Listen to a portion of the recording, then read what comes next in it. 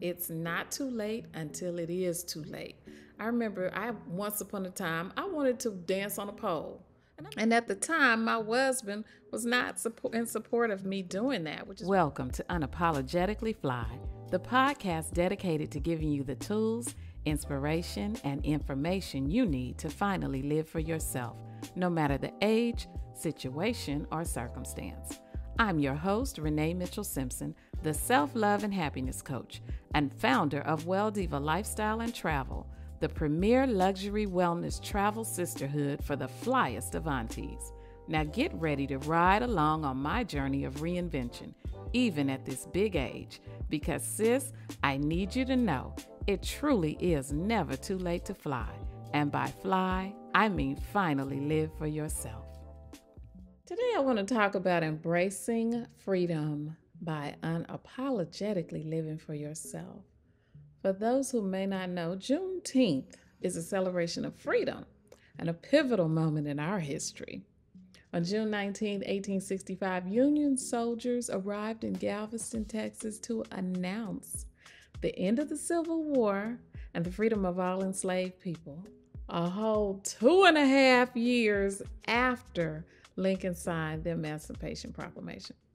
Juneteenth was the first victory in our ongoing fight for equality. Today, we want to reflect on what freedom means for Black women.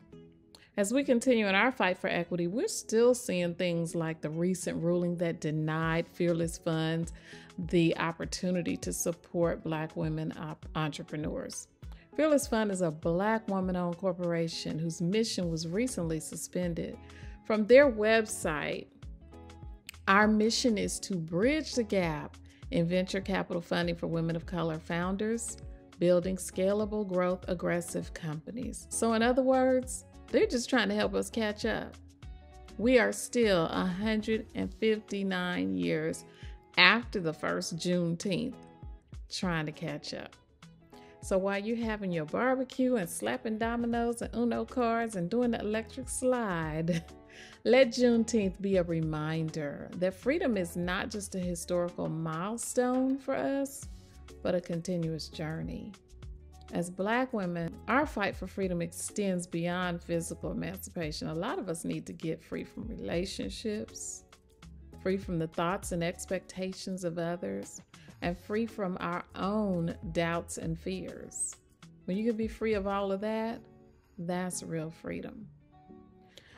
Want to share a couple of stories about some sisters who really embody living unapologetically for themselves. These are women who have pursued their passions, they've prioritized their well being, and they've stepped out of the comfort zone to live authentically. The first one you may know as the Gallivanting Grandma. I know her as Diamond Crystal. I had the pleasure of having her on the podcast last season when we met up in Costa Rica. Sis left a decades long marriage, a job, a house, all kind of goodies to become a professional international house sitter. Or, as she would put it, to pursue peace. That is the number one thing she talks about every time I talk to her is the peace that she's gained from this experience. In fact, she started a company called uh, Power Peace, and it features T-shirts and um, I've seen her with the face mask and different things for her home. On her website, she describes it as Power Peace, a highly a high quality apparel and home goods line for those determined to live their holistically best lives, harnessing the power of peace within. I absolutely love her story, honey. Another incredible story of a woman living unapologetically fly is yours truly. I too stepped out of the comfort zone, learned to prioritize myself and do what I needed to do to to secure my own peace. Peace, freedom, joy, all those good things. You cannot put a price on any of that. It's all about prioritizing self care. So many of us as Black women, we grew up watching our mothers take care of everybody take care of a whole household of people after coming home from work, and even taking care of their siblings sometimes, their parents. Our mothers a lot of times put everybody else first. So of course we can we would naturally grow up thinking that that's the way life needs to be, right? I remember my mom, she was a big shopper. But one thing I do not recall ever seeing her do was take a personal day, like a spa day or go on a vacation without us or without my dad. I never saw her do that. Not that she didn't have the means, but it just probably was something that did not occur to her. Never one time saw her do a self care day. This was just not a thing back then. But that's something I really want us to work to change the narrative on. Prioritizing self care is not selfish. But if it is selfish, then selfish is a good thing. We need to change the definition. We need to change what we think and we feel when we hear that word because everybody else wants us to put them first. That isn't so not fair. So, how can we start living unapologetically for ourselves? One, prioritize self care like you prioritize taking care of your children, your mate, your pet, your parents, whoever. You're a black woman. I know you put somebody else ahead of you.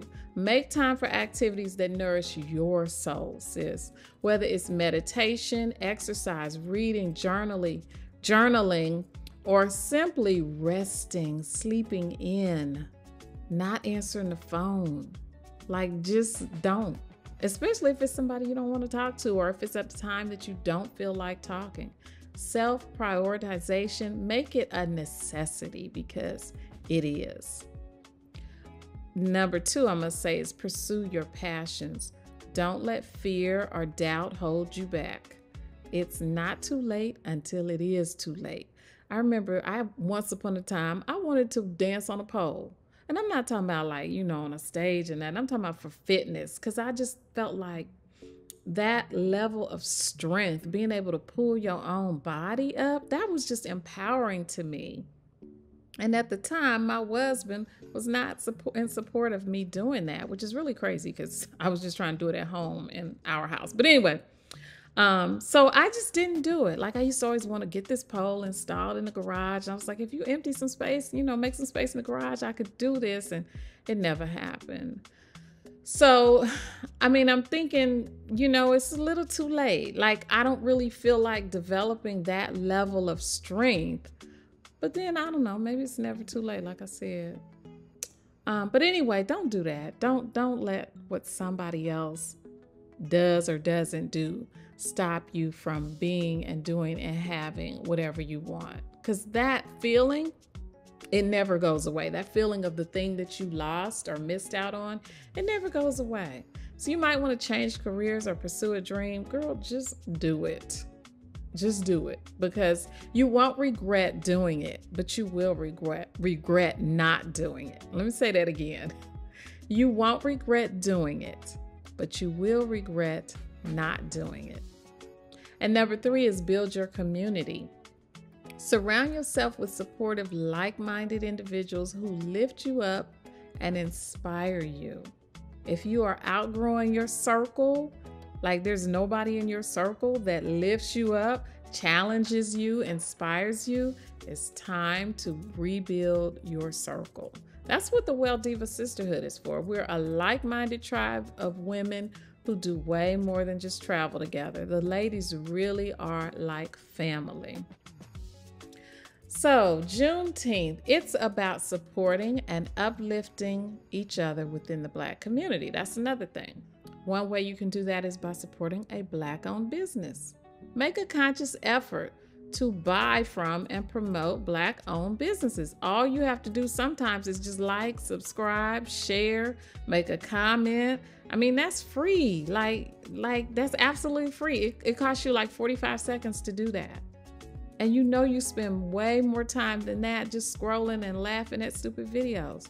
So, like, subscribe, share, make a comment when you see black owned businesses posting and posting and trying to get your attention. You may not buy anything, but just that simple like, subscribe, share, all that, it really, really means a lot for us.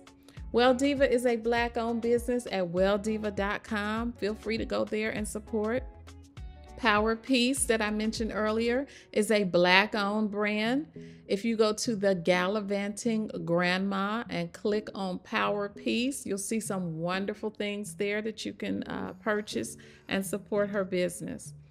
As we celebrate Juneteenth, let's also honor the legacy of those who fought for our freedom by continuing to fight for our own personal freedoms. When you strive to live unapologetically, you create your own freedom. And that right there is an act of self love. All right, y'all. Thank you for joining me for this special Juneteenth edition of Unapologetically Fly. Let's embrace our freedom, live for ourselves, and continue to uplift each other. Thank you for watching. Now be sure to like, subscribe, share with your besties, and tell me what topics would you like more of in the comments below so I know I'm not just sitting here talking to myself. If you enjoyed this content and you want even more, be sure to access the extended version on Apple, Spotify, and wherever you listen to podcasts. I also invite you to join me in the Well Divas on one of our unapologetically fly wellness travel experiences. Visit welldiva.com and select someplace wonderful to meet up with us. Until next time, stay unapologetically fly.